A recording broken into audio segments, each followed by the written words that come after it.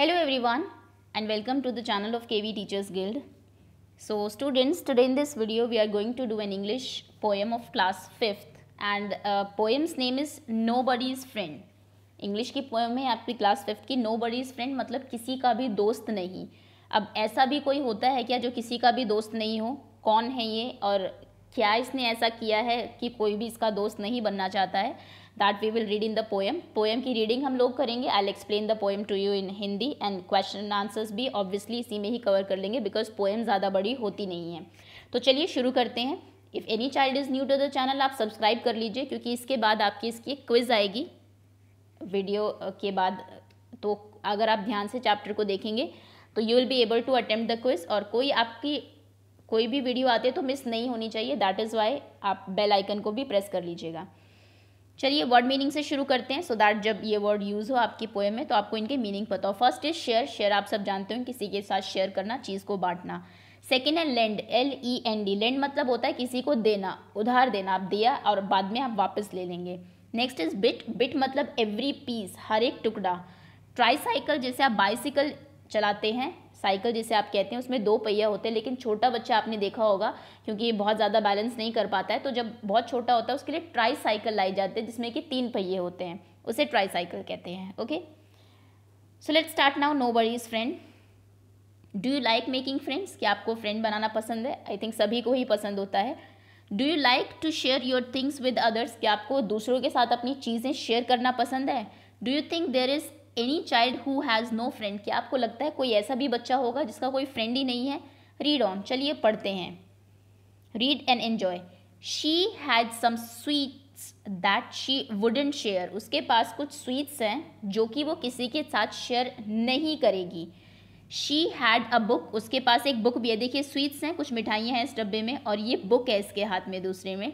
She had a book उसके पास कुछ बुक भी हैं दैट शी वुडेंट लेंड जो कि वो किसी को भी लेंड नहीं करेगी, देगी नहीं पढ़ने के लिए। She wouldn't let any one play with her doll वो अपनी डॉल के साथ भी किसी को खेलने नहीं देगी। She is nobody's friend इसलिए वो किसी की फ्रेंड नहीं है, क्योंकि वो अपनी चीज़ें किसी के साथ भी शेयर नहीं करती हैं। Okay next look at this boy इस बॉय के बारे में बताया हुआ है। ही हैड सम टॉफ़ीज़ उसके पास कुछ पास कुछ टॉफ़ीज़ हैं। हाथ में आप देख सकते हैं। एंड एट एवरी बिट और वो हर एक पीस हर एक टुकड़ा उसका खुद खाता है, किसी को नहीं देता। He had a tricycle उसके पास एक ट्राई साइकिल भी है एंड ही वुडन लैंड और वो भी उसको उधारी पे किसी, उधारी इन द सेंस किसी को चलाने के लिए नहीं देगा। He would he never let any one play with his train उसके पास जो ट्रेन है, यहाँ पर आपको इसमें दिख रही होगी, वो उस, वो भी उसको किसी को चलाने के लिए नहीं देता, उसके साथ खेलने नहीं देता है। And he is nobody's friend और वो भी किसी का फ्रेंड नहीं है। अगर आप कुछ चीज़ ही शेयर नहीं करोगे तो आप से कोई दोस्ती नहीं करेगा। अब थर्ड इस लड़की के बारे में पढ़ते हैं। देखने से तो ये बहुत हैप्पी लग रही है। जब आपके फ्रेंड्स आपके आसपास होते हैं तो आप जनरली खुश ही रहते हैं। और आप इन दोनों बच्चों को देखेंगे तो बहुत परेशान है, बहुत फ्रस्ट्रेटेड लग रहे हैं। आप चीज़ें शेयर नहीं कर सकते किसी के साथ अपनी बात नहीं कह सकते है ना? सो so, फ्रेंड्स का होना बहुत ज़रूरी है। फ्रेंड कैसे हैं इस बच्ची के? But I share all my sweets with you लेकिन मैं आपके साथ सब चीज़ें शेयर करूँगी। My ball and my books and my games I will lend मैं अपनी बुक्स अपनी बॉल अपनी गेम्स जो हैं आपको दे दूँगी लेंड कर दूँगी। Here is half my apple मैं ये रहा मेरा आधा apple and half my cake और ये रहा मेरा आधा cake. I am your friend और अब मैं आपकी फ्रेंड हूँ। आधा केक आपका है, आधे एप्पल्स आपके हैं। जो भी मेरे टॉयज़ है, मैं आपको खेलने के लिए दूँगी। मेरी बुक्स आपको लेंड कर दूँगी। So that is why she is everybody's friend इसलिए वो सभी की फ्रेंड है। सब उससे दोस्ती करना चाहते हैं। Okay so this is the poem ये लिखिए एनिड ब्लाइटन ने। नाम भी आप याद रखेंगे। इनके पोएट का Enid Blyton so that's all I am sure जो ये कहना चाह रही है पोएम वो आपको समझ में आ गया होगा। अगर आप बिल्कुल अपनी चीज़ें किसी के साथ शेयर नहीं करते हैं तो डेफिनेटली आपका कोई फ्रेंड नहीं बनेगा। चलिए, अब क्वेश्चन आंसर्स कर लेते हैं। What are the things the girl does not want to share कौन सी वो चीज़ें हैं जो फ़र्स्ट स्टैंडा में लड़की किसी के साथ शेयर नहीं करना चाहती है? तो क्वेश्चन आंसर्स पूरे देख लेते हैं बिकॉज़ आपको अपनी कॉपी में लिखने भी होते हैं। So she does not want to share her sweets books and doll उसके पास स्वीट्स हैं बुक्स एंड डॉल्स हैं। डॉल है जो कि वो किसी के साथ शेयर नहीं करती है। Did the boy share his toffee and tricycle with others क्या जो सेकेंड स्टैंडा में जो बॉय है, वो दूसरे के साथ अपनी ट्राई साइकिल और टॉफ़ी शेयर करता है? ऑब्वियसली नॉट क्योंकि वो भी किसी, इसलिए वो किसी का फ्रेंड नहीं है. No he didn't share his toffee and tricycle ऐसा नहीं है कि वो किसी का फ्रेंड नहीं है, इसलिए वो शेयर नहीं करता. वो शेयर नहीं करता, इसीलिए वो किसी का फ्रेंड नहीं है. Why are the two children nobody's friend वो जो दो बच्चे हैं, वो किसी के भी फ्रेंड क्यों नहीं है? The children are nobody's friend because they don't share their things with other क्योंकि वो दूसरों के साथ अपनी चीज़ें शेयर नहीं करते हैं। What does the child in the last stanza want to share last stanza में जो बच्चा है, वो क्या चीज़ शेयर करना चाहता है? So the child in the last stanza want to share his sweets ball books, games, apples and cake. अपने एप्पल भी वो हाफ़ आपको देने वाला है मतलब देने के लिए बोल रहा है कि मैं सब कुछ दे दूँगा। So that is why he is everybody's friend so sweets ball book games apple and cake okay question answers हो गए। लेट्स टॉक ये आपके लिए कुछ क्वेश्चन हैं। आपको बताना है, क्या आप दूसरों के साथ अपने favourite food and toy share करते हैं? अगर नहीं तो आप अब से ज़रूर शुरू कर दें और इसमें सभी का आंसर यस होगा तो अच्छा रहेगा। Who is your best friend आपका बेस्ट फ्रेंड क्या है? उसको डिस्क्राइब करना है। Suppose you and your friend are very thirsty आपको बहुत प्यास लग और आपको और आपके फ्रेंड को there is only one glass of water what will you do और सिर्फ़ एक ग्लास पानी है तो आप क्या करेंगे? आप डेफिनेटली उसको शेयर करेंगे, आधा खुद पियेंगे and the remaining half you will give to your friend okay if you had a bat could you play cricket by yourself अगर आपके पास बैट है तो क्या आप अकेले क्रिकेट खेल सकते हैं? बिल्कुल भी नहीं। आपको एक फ्रेंड की ज़रूरत नहीं, ज़रूर पड़ेगी जो आपको बॉल करेगा ओके तो अकेले आप किसी भी चीज़ को इन्जॉय नहीं कर सकते हैं। ये चैप्टर आपको कहना चाह रहा है। Can you find more words ending with less आपको कुछ वर्ड्स बताने हैं जो एंड लेस से एंड होते हो। जैसे फ्रेंडलेस फ्रेंडलेस मतलब उसका कोई फ्रेंड ना हो। होमलेस होमलेस जिसका घर ना हो। टूथलेस टूथलेस जिसके दांत ना हो। ओके? तो लेस जिसके भी पीछे लग जाता है, कहने का मतलब है, वो विदाउट उस चीज़ के हो जाता है। जैसे कि कुछ और एग्जाम्पल्स मैं आपको दे देती हूँ। वायरलेस बिना वायर के, जैसे कि आपका रिमोट होता है वायरलेस या फिर चार्जर्स होते हैं wireless needleless keyless helpless inkless hopeless driverless paperless thankless timeless okay? तो ये कुछ वर्ड्स हो सकते हैं जिनके पीछे आप लेस लगा के न्यू वर्ड्स बना सकते हैं। Next is can you write the opposite of lend lend मतलब होता है किसी को देना लेंड का ऑपोजिट होता है borrow B O double R O W borrow मतलब होता है किसी से बोरो करना, उधार लेना. नेक्स्ट इज़ नो बडी वैसे तो नो बडी का ऑपोजिट होना चाहिए एवरीबडी नो बडी मतलब कोई भी नहीं एवरीबडी मतलब हर कोई.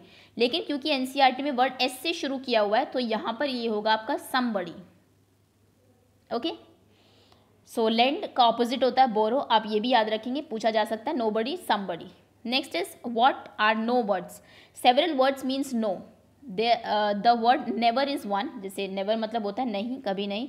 It means no time not ever कभी भी नहीं never have here are some other no words read them nobody no nowhere no one none nothing ये कुछ आपके नो वर्ड्स हैं जिनका मतलब होता है नहीं. Read the given sentence and underline the no words nobody is at home कोई भी घर पर नहीं है so nobody Ram has no books Ram के पास कोई भी किताब नहीं है। Can no one help him क्या कोई भी उसकी हेल्प नहीं करेगा? Was Gopal nowhere around nowhere को आप अंडरलाइन कर देंगे। क्या गोपाल कहीं भी आसपास नहीं था? None of the two boys came दोनों लड़कों में से कोई भी नहीं आया। So none there is nothing to do कुछ भी करने के लिए नहीं है। So nothing I have no coat मेरे पास कोई कोट नहीं है। Radha is never late Radha कभी भी लेट नहीं होती है। सो so, ये कुछ आपके वर्ड्स हैं जो कि यहाँ पर नो आपको दिखा रहे हैं नो का साइन दे रहे हैं कि कोई भी ऐसा नहीं है। नेक्स्ट इज़ से अलाउड ये आपको प्रोनाउंसिएशन के लिए दिया हुआ है। Nobody everybody somebody cycle bicycle tricycle share care stare stare मतलब होता है घूरना। हेयर पेयर स्टेयर इस स्टेयर का मतलब होता है सीढ़ियाँ। तो दोनों में डिफरेंस देख लीजिए स्टेयर करना एक चीज़ को कॉन्स्टेंटली देखते रहना एंड स्टेयर सीढ़ियाँ। Now write words that rhyme with train train के साथ जो वर्ड्स राइम करेंगे आपको वो लिखने हैं। तो ट्रेन के साथ हो सकता है chain pain brain again lane main ज़रूरी नहीं है ट्रेन के साथ राइम होने के लिए ए आई एन से ही वर्ड फिनिश हो। लेन भी देखिए ट्रेन लेन डेफिनेटली आपका राइम uh, कर रहा है। Next is friend bend and fend land send okay सो ये कुछ वर्ड है जो कि आपके फ्रेंड के साथ राइम करेंगे। राइमिंग वर्ड जनरली एग्ज़ाम में आ जाते हैं। अब आपको एक शॉर्ट स्टोरी यहाँ पर, दी हुई है that you have to read by yourself आप इसको खुद पढ़ लीजिएगा एंड चलिए मैं पढ़ा देती हूँ आपको बिकॉज़ है अभी थोड़ा time once a lion lay fast asleep in Ranthambore forest एक बार एक लायन जो है वो लेटा होता है रणथम्बोर के फॉरेस्ट में of Rajasthan since mice was playing hide and seek near him एक माइस जो है चूहा उसके आसपास जो है वो हाइड एंड सीक खेल रहा होता है. Once mouse get trapped under lion's paws एक बार क्या होता है एक माउस उसके पैर के नीचे पकड़ा जाता है। The lion woke up lion उठता है laugh loudly and let the mouse go हंसता है और माउस को जाने देता है। आफ्टर सम डेज़ कुछ दिन के बाद the mouse heard the lion's roar mouse जो है, उसको लायन की रोर सुनाई देती है, दहाड़ने की आवाज़ सुनती है।